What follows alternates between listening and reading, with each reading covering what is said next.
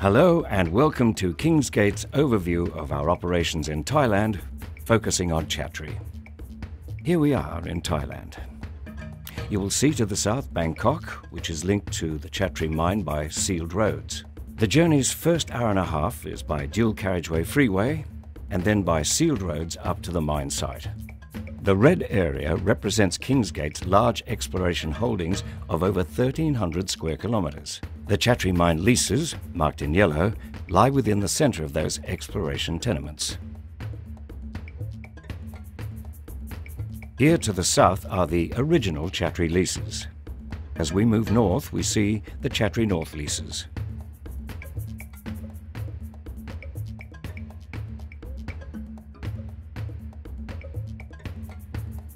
Our drill holes are shown in white over the original Chatree leases. In yellow and red we see a computer model called Leapfrog, which takes the drill results and models what the ore bodies look like.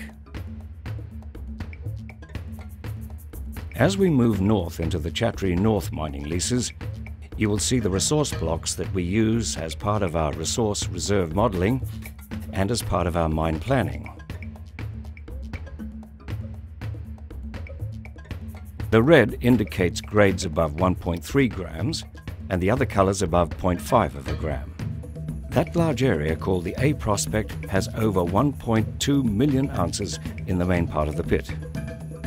Now we see the wireframe in red and blue. This is what the actual ore body looks like with the veins. Sweeping back across Chatree North, we see the planned open pits, looking forward 12 years using a US $950 per ounce gold price to calculate what the reserves are and what is optimum to take out in open pits. Back in the original leases called Chatree, we see how the old pits can now expand based on current gold prices. And some potential future pits as we move to the west of the current leases.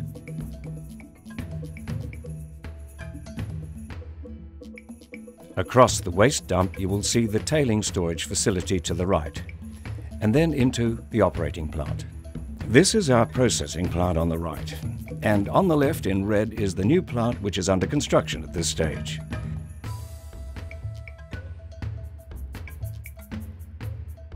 Capital cost of the new plant is approximately 125 million and the estimated date for completion is during the September quarter of 2011.